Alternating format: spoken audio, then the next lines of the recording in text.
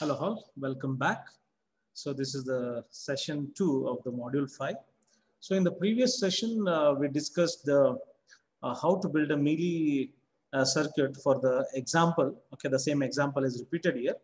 So uh, again, uh, the objective of the problem is to design the circuit so that any input sequence ending in 101 will produce an output z is equal to 1 the circuit does not reset when one output occurs. And this, for this problem statement, we had built the Mealy uh, machine. Okay, so now for the same problem statement, we'll try to uh, build a Moore machine. Okay, so we'll see what is the procedure and what changes, uh, what little bit change that we have to make in this particular uh, design. Uh, the procedure for finding the state graph for Moore machine is similar to that used for Mealy machine, except that the output is written with the state instead with the transition between the states. Meaning, in the Mealy sequential uh, network, okay, so in between states, okay, suppose if I'm moving from this state to this state, okay, assume that this is some S naught, uh, this is some S1, okay. My output was specified during the between the transitions. Okay, this is what I mean by the transition. This is the output. Okay, whereas here in the Moore, the output is specified within the state, and this is what I mean by the within the state. I am defining the outputs.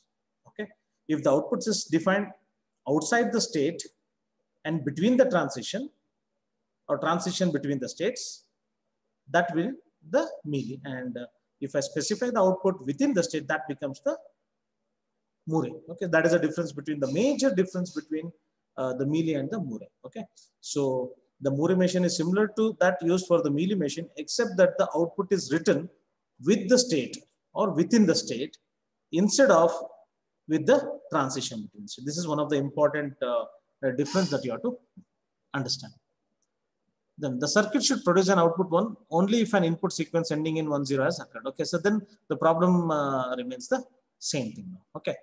So now the design is similar to that of the Mealy machine up till the input sequence 1, 0 has occurred, except that 0 output is associated with states S0, S1 and S2. So we'll try to see how exactly. Okay. So here also we'll consider the initial state that is S0.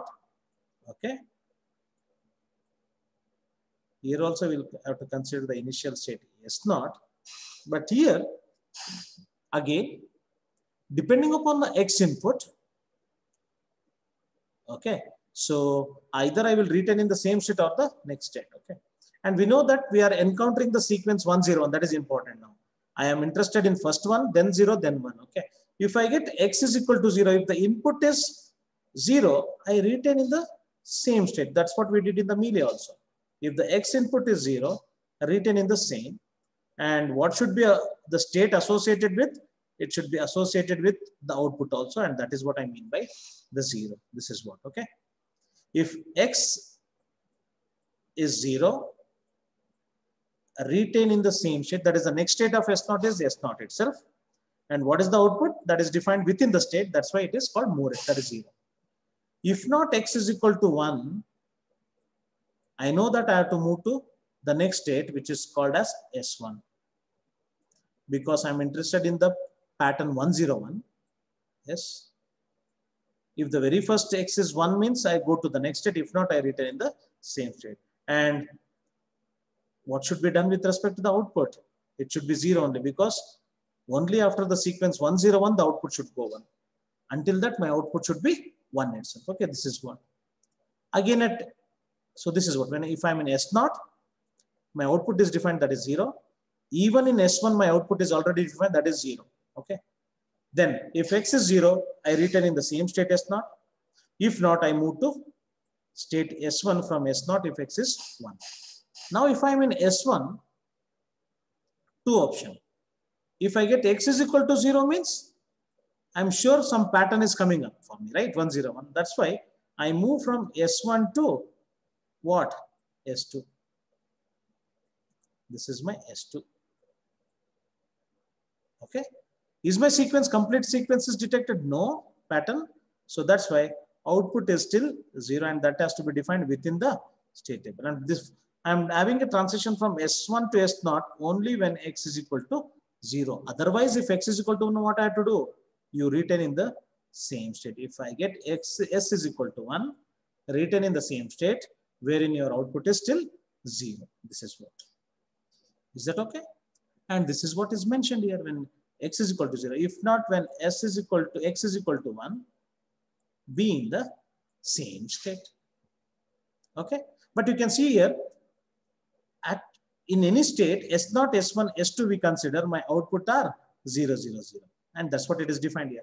The design is similar to that for the Mealy machine until the input sequence 1, 0 has occurred, except that 0 output is associated with states S0, S1, and S2. Okay, uh, these things. From here, we'll move to the next thing. Okay. So this is, this is the partial uh, state graph. Now we'll try to complete the complete state graph. Okay. And this is so now, this is again important. Why we have to consider the first partial and then why we have to go for the complete. Okay, so that's very crucial now. Yeah. Now, if I am, so this is what? If it is one, I retain. This is what, till this point we were there. Okay.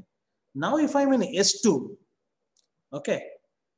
So, if I'm in S1, I have encountered the sequence one. After S, S1 only, I'll come to S2 means if I'm in S2, I've encountered something like 1, 0. If I am in S0, I'm encountered something like 0 only. This is how exactly we have to follow. If I'm in S0, I've encountered 0. If I'm in S1, I've encountered 1. If I'm in S2, I've encountered 1, 0. Now, if in S2, if I get X is equal to 1, then only I'll go to the next state that is S3. This is what is S3? It is the state where I have encountered 101. And after encountering 101, what should be my output? Output should be 1 and that's what we have specified here, right? So S0, it I have not encountered 1, it is 0. At S1, I have encountered 1. At S2, I have encountered 1, 0. And S2, if I get X is equal to 1, then I move to S3. And being at S3 means it is 101 detected and that's why my output is 1. This is where I am. if not in S2, if instead of as x is equal to 1, if I get s is equal to 0, I will go back to this. That is when x is equal to 0. Okay, I have traced one pattern, then it is 1, 0. If the next bit is 1, 0, 0, then I have to go back here to the initial state without letting the output to be 1. At this point, if I get 1, I'll go and sit here. Okay, that's what we have to do now. So at S3 now, this is 1. Here again I may get 0 or 1. Yes. At S3 I have encountered already 101. Okay. Now after this my x may be 0 or x may be 1. When x is equal to 0 means what? I can still expect the same pattern may be the next. So that's why when x is equal to 0, I move to S2 with output 0. If S is equal to 1 here, I move to S1 to this step. Okay, this is what, and that's what is depicted in this. Okay, the same thing is depicted in this. At test 2, if I get 1, I go here with the output 1. At test 3, if I get 0, it will be going to this. Okay, that's what. We now complete the graph as shown in figure below. Note the sequence 100 resets the circuit to S0. That means from here to here it is 1. From here to here it is 1, 0. If I get x as 0 here, I'll go to here. That means if I go or trace this path, if I trace this path, it will be what? 100. If I trace with path, it will be 100. That's why I'll reset. And I'll go to S0.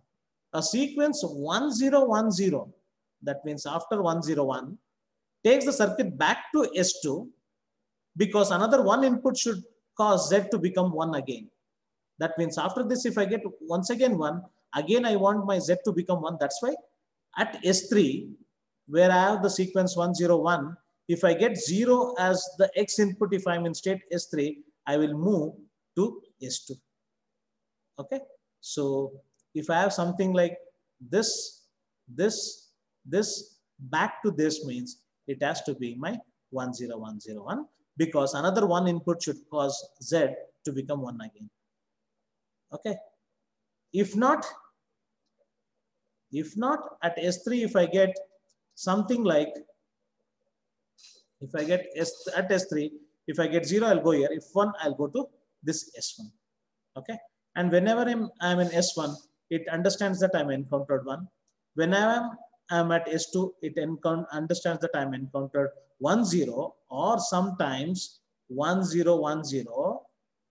When one zero one zero comes, I have come here, there, and the second time when I'm coming to S2, it is something like 1010 from this. Is it okay? Yes, this is what. I at S2 either may be 10 or it may be 1010. At S3, it will be 101. Okay. And this is 1 or it may be 1011. 1011 if I can take. Okay. But this is again, if the, it all depends upon the sequence. Okay. It all depends upon the sequence. Yeah. So this is all about the thing. Now this is the complete uh. This is the complete Moore machine. This is the complete Moore machine for the example that we had specified. So now instead of three states, I have the four states. The one major uh, difference between the Mealy and Moore is Moore fetches me more states. Okay, so I have four states, S1, S0, S1, S2, S4. 4, to represent 4, I want minimum 2 bits. I go with 0, 0, encode S0 as 0, 1, 0, 0, S1 as 1, 0, 1, S2 as 1, 0, and S4 as 1 and 1. This is what I try to do now. Okay, so the moment I have the state graph with respect to the Moore machine, Moore machine, I can generate what is called the table. Okay, and to see that table, we'll go to the next step. So the state table corresponding to the circuit is given by the following table. If I'm in, this is my initial state, always make sure that, okay, so your S naught is your initial state At test not, if, if x is 0, you remain in the same state. If not, x is equal to 1, go to this. And what should be the output if I mean S naught? It is 0. So my output, you can see here, the output Z is not depending upon your x and 0. Sorry, x value. It is depending only on S naught. If the present state is S naught, my output is 0. If my present state is S1, my output is 0. My present state is S2, my output is 0. Only in the if the if I'm in the present state S3, my output is 1 here. Okay. So S naught this is. So using the state assignment, that is AB given the encoded with 0, 0, AB with 0, 1. Uh, okay, so, and for S0, AB 0, 1 for S1, AB 1, 1 for S2, and AB10 for S3. Okay, you can just nomenclature anything. And this is converted here. Now, what you can do, depending upon your, what is my Z? Z only depends upon my, what? S3.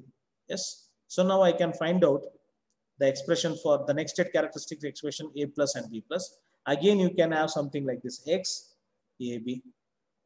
Instead of two columns for this, I will have only one column wherein I will have four zeros of X and four ones of X. And you can specify the corresponding present state in terms of 0, 0, sorry, 0, sorry, 0, 1, 1, 0, 1, 1. And the same thing you can repeat over here.